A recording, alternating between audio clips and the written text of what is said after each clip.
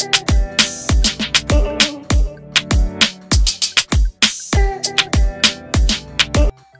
ย่างฮาน้องทิล่าลูกสาวแอร์โพสท่านี้ตั้งแต่อยู่ในท้องอารมณ์ดีเหมือนแม่เป๊ะขึ้นแท่นขวัญใจพี่พี่แฟนคลับคนรักเด็กไปเป็นที่เรียบร้อยแล้วสำหรับน้องทิล่าลูกสาววัยแบบเบาะของคุณแม่ซุปตา แอร์พันธิลากับคุณพ่อนักธุรกิจไอรัชสิทธิ์ที่เพิ่งจะลืมตาดูโลกเมื่อไม่กี่วันก่อน แถมล่าสุดบนอินสตาแกรมแอดบันนี่แอก็ยังได้มีการปล่อยภาพถ่ายช็อตเด็ด ตอกย้ำความน่ารักน่าเอ็นดูของน้องฑิลาร์ในจังหวะที่กำลังโพสท่าชูมือสองข้างคล้ายกับกำลังตั้งการ์ดเตรียมขึ้นสังเวียนชกมวย และที่พีคยิ่งไปกว่านั้นก็คือเมื่อแอร์ภัณฑิลา หยิบเอาภาพถ่ายอัลตราซาวด์ขึ้นมาเปรียบเทียบให้เห็นชัดๆ ว่าน้องทิล่าเคยโพสท่าทางลักษณะนี้มาครั้งหนึ่งแล้วตั้งแต่อยู่ในท้อง พร้อมระบุแคปชั่นแซวขำๆว่า ลาตั้งการ์ดโชว์คาหนูเป็นกระต่ายนักสู้นะคะ หนูชอบชกมวยมาตั้งแต่ในท้องแล้วค่ะ ไม่เชื่อลองเลื่อนดูรูปตอนหนูอยู่ในท้องแม่สี่เดือนได้เลยค่ะ งานนี้ทำเอาบรรดาแฟนคลับ รวมถึงเพื่อนพ้องคนดังเข้ามาสาดคอมเมนต์เอ็นดูหลานสาวกันหนักมากเลยทีเดียว น่ารักมาก super girl ต้าวแก้มยุ้ยเอ็นดู นักสู้เหมือนแม่แอร์ใช่ไหมลูก หน้ายักกระจังเลยค่ะ ลูก ท่านี้นะมวยเลยและอื่นๆ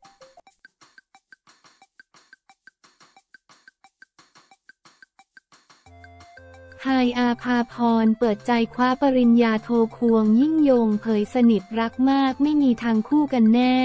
นักร้องลูกทุ่งชื่อดังไฮอาภาพรเปิดใจครั้งแรกหลังคว้าปริญญาโทในวัย 53 ปี แพลนต่อด็อกเตอร์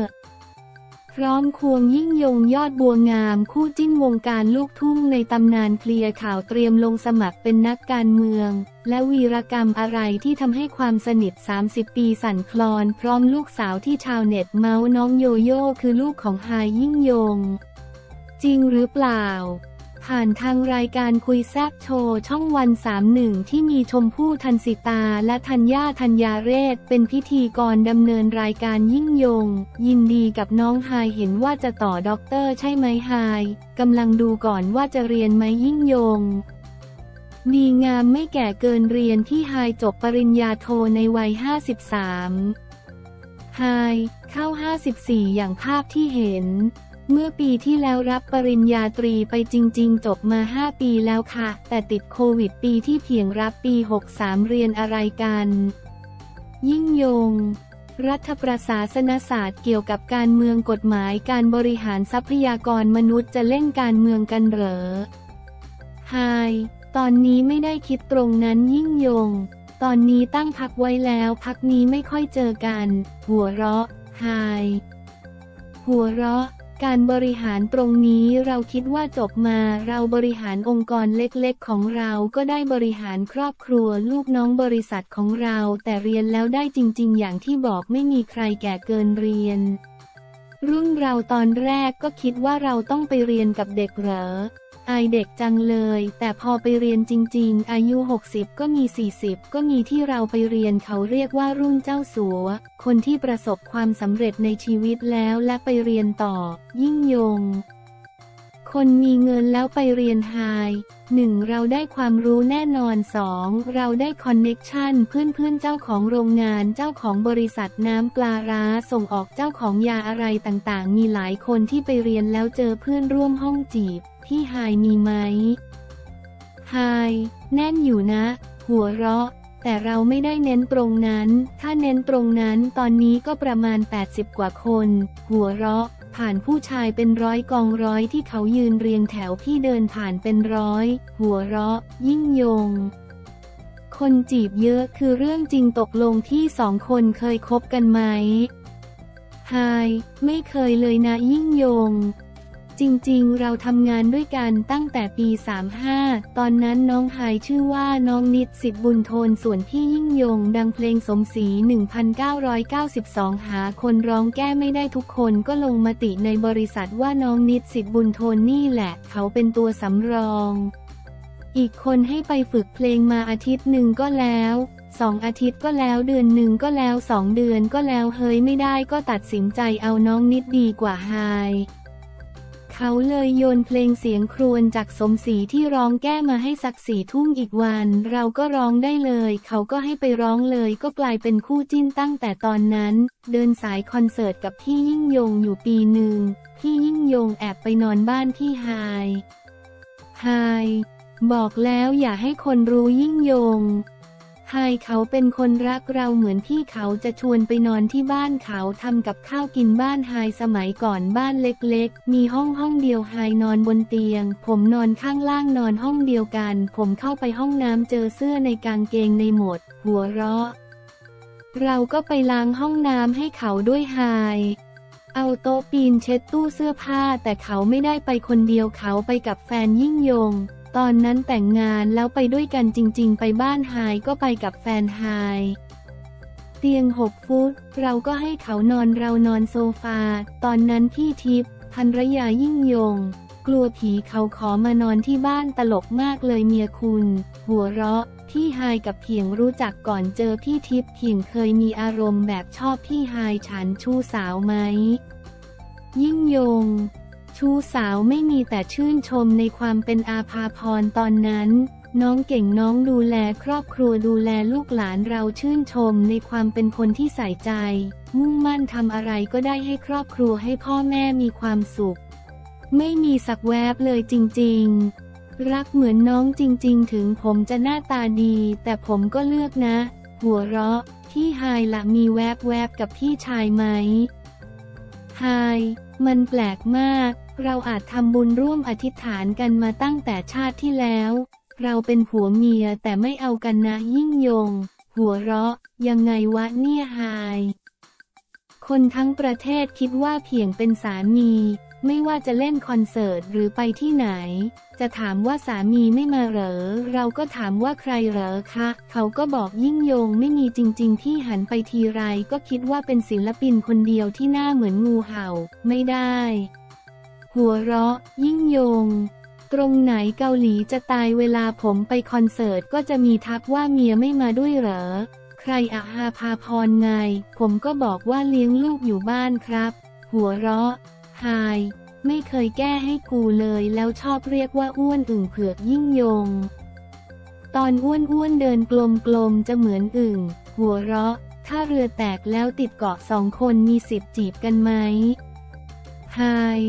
พี่ยอมนั่งจิ้มดินดีกว่ามันไม่มีอารมณ์ตรงนั้นหรอกลูก ถ้ามีผู้ชายคนเดียวในโลกพี่ก็จะเก็บไว้เยี่ยวอย่างเดียว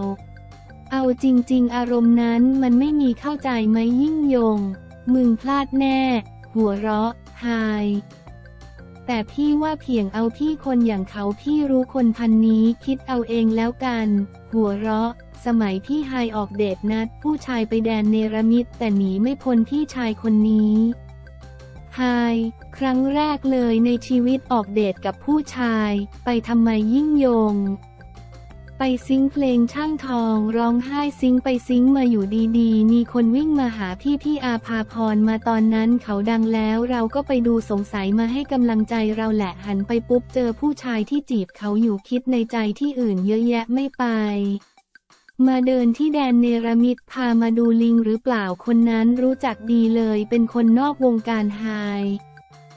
เราก็ตายแล้วเพียงรู้ว่ามากับผู้ชายแหวดน้องสาวสอบได้ที่สวนสุนันทา ก็ไปกันหลายคนแต่เราตกใจมาก เราไม่เคยทำแบบนี้เป็นครั้งแรกที่เราไปกับผู้ชาย เราตื่นเต้นคิดว่าเพียงต้องไปเล่าให้คนโน้นคนนี้ฟังแน่ๆหนีไม่พ้นทำไงได้เราไม่ทักผู้ชายไปทักเรานั่งใจเต้นตึกเต้นตึกอายอายตอนนั้นเด็กอายุ 22 ยิ่งยง เขาคงไปแบบมีความสุขแต่มาเจอเรา หัวเราะ เราไม่ได้เกี่ยวเลย เราไปทำงานตั้งแต่หกโมงเช้าแต่เด็กวิ่งมาบอกไฮ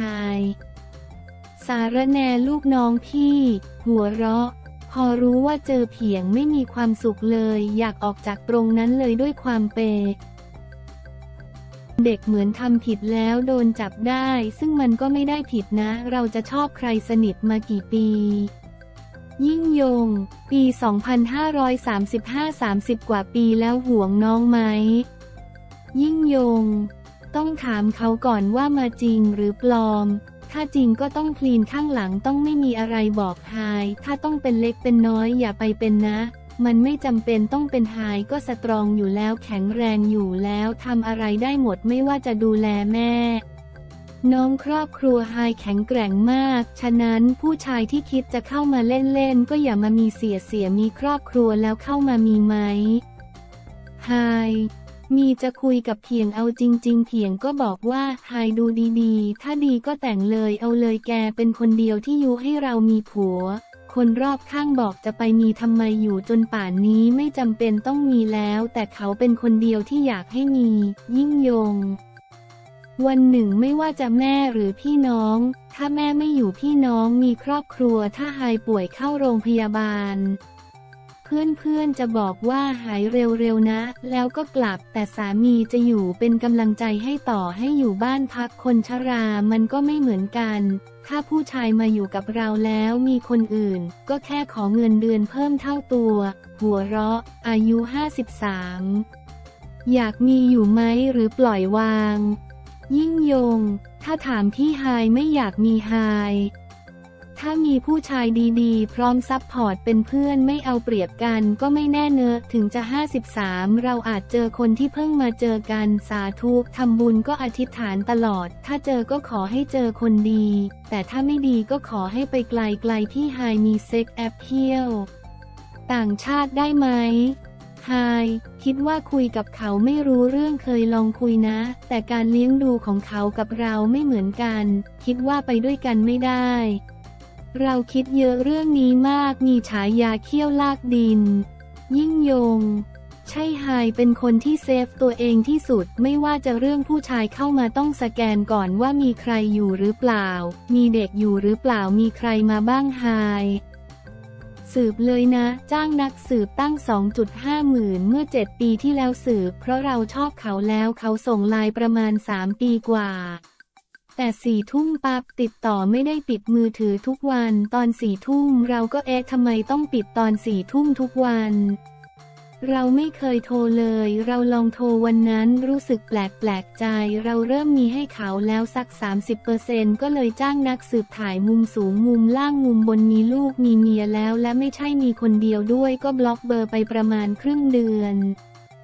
เราก็รู้สึกว่าเราเป็นเพื่อนกันได้นี่หว่า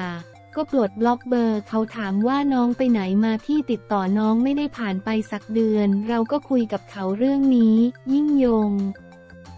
เขาบอกว่าถ้าผู้ชายมาจีบหนูแล้วมีลูกมีเมีย ไปฆ่ามันให้ตายก่อนแล้วฆ่าไม่ได้ เพราะมีหลายคน หัวเราะไฮอันนี้โจก หัวเราะ ขอโสดดีกว่าอดีตเป็นยังไงก็ช่างเขา แต่ต้องโสดเราคงไม่มีหนุ่มๆมาจีบแล้วล่ะ ไม่ไหวไม่ชอบเด็กอยากมีผัวไม่ได้อยากมีลูก หรือเป็นกรรมเก่าที่เคยไปหลอกพี่ยิ่งยง ยิ่งยง เขาซื้อครีมทาตัวมาขายเขาบอกมาจากตลาดกิมหยงเราก็เพิ่งดังไม่รู้จักกิมหยงคิดว่าประเทศจีนแน่ ๆ ก็ซื้อดีกว่าช่วยน้องประมาณพันกว่าไฮคือตลาดที่หาดใหญ่ยิ่งยง มารู้ตอนเราดังเดินสายมีเพื่อนพาเราไปอ้าว หัวเราะไฮสมัยนั้นพี่ยิ่งยงทาแล้วหน้าลอย คอดำปีเลย คนก็บอกว่าพี่ยิ่งยงหล่อในใจก็คิดว่าตาบอดหรือเปล่าทาแป้งผิดเบอร์ เราพยายามหาแป้งรองพื้นที่ทากับสีหน้าแกไปขายให้แกทั้งหมดก็บวกไม่ถึงร้อยด้วยสีชิ้นได้มาสามร้อยเองกำไรอะยิ่งยง หลังจากทาเจ็ดวันไปแล้วผิวลอกครับ หัวเราะ ตอนนั้นขายสครับทาตัวรองพื้นครีมบำรุงหน้าอุดหนุนทุกอย่างขนาดมาม่าหลังเวทียังซื้อเขาขยันมากไฮอยากได้เงินไปใช้หนี้ให้พ่อแม่เจ็ดแสนกว่าตอนนั้นเรายังไม่มีชื่อเสียงบางทีเอาเงินไปให้ทีสามเดือนให้สามหมื่นสี่หมื่นเขาก็คิดว่าไปขายตัวแน่ ๆ เบ้าหน้าอย่างนี้จะไปหาเงินได้เยอะได้ยังไง ไม่ดูเบ้าหน้ากูเลยว่าจะขายได้ไหมตอนนั้น ห่วงอะไรน้องบ้าง ยิ่งยง ทุกอย่างไม่ว่าความเป็นอยู่เงินทองชีวิต ถ้าวันหนึ่งมีแฟนก็อยากให้เลือกคนที่ดี ภาวนาให้ฟ้าดินส่งคนดีๆ มาให้น้องอย่าเอาคนที่มาหลอกเลย อาจไม่ต้องรวยมากความรวยอาจสร้างความกดดันให้เราเอาคนที่ balance กับเราถ้ารักกันจริงต้องใส่ใจซึ่งกันและกัน และต้องดูแลกันมากๆไฮเขาพูดแบบนี้ตลอดจะไม่ให้รักเขาได้ไงเขาไปบ้านภรรยาป้อนข้าวนะ น่ารักเขากลับกินข้าวบ้านทุกวันแกะ ปลาทูขยำข้าวให้เขาดูแลกันน่ารักตอนนี้ไม่ห่วงเพียงเลยเขาดูแลดีกว่าเราดูแลตัวเองก็เลยสบายใจความสุขที่แท้จริงคือแม่ลูกเขามีครบเขาลือว่าพี่ไฮเป็นแม่น้องโยโย่ โยโย่เป็นลูกใคร ไฮก็เหมือนลูกเราวันแรกโย่ประมาณสองขวบเจอหลังเวที ก่อนหน้านั้นไม่เคยเจอกันเลยนะไฮนุ่งกระโปรงวิ่งมาหานาไฮหนูลูกพ่อยงค่ะ เราก็ตายแล้วทำไมน่ารักขนาดนี้หลงมาก ถ้าว่างวันไหนจะไปหาโยโย่ตลอด มีคนทักว่าเหมือนพี่ไฮไหม โยโย่เยอะมากค่ะ หัวเราะ มีคนถามพอรู้ว่าเป็นลูกพ่อยิ่งยง เขาก็จะถามว่าเป็นลูกแม่ไฮอาภาพรใช่ไหมหนูก็บอกว่าไม่ใช่เขาก็บอกว่าไม่ใช่ใช่นี่ลูกไฮเขายังเถียงเราอีกหนูบอกว่าแม่หนูไม่ใช่คนนี้ คนเข้าใจว่าเป็นลูกพี่ไฮไฮที่ทิพย์ก็เล่นมุกเลยแกจะอยู่ข้างหลังแล้วบอกว่าดูสิ ผัวเมียรักกันจะตายแกก็เมาส์มอยพี่ทิพย์เป็นคนที่ไว้ใจพี่หายมากที่สุด เพราะแกจะรู้ว่าถ้าเราจะมีอะไรกัน คงมีตั้งแต่ตอนไม่เจอพี่ทิพย์แล้ว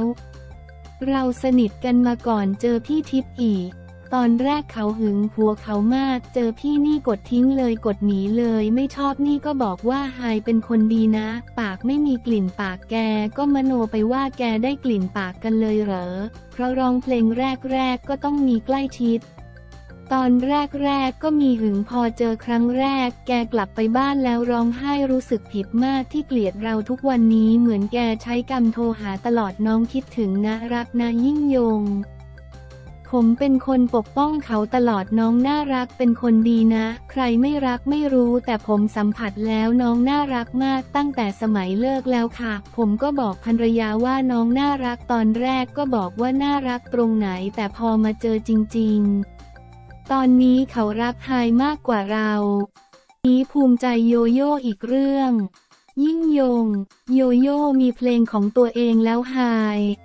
เรารักในอาชีพตอนแรก เขาบอกว่าถอดใจไปแล้ว แต่สักปีสองปีเขาอยากกลับมาน้องเขาเคยเล่นละครด้วยก็บอกว่าเครื่องหน้าเขาครบมากอย่างเดียวเลยคือผอมถ้าผอมแล้วจะสวยโยโย่ตอนนี้หนูผอมลงจากครั้งที่แล้วที่มาประมาณ 10 กิโลไม่กินข้าวเย็น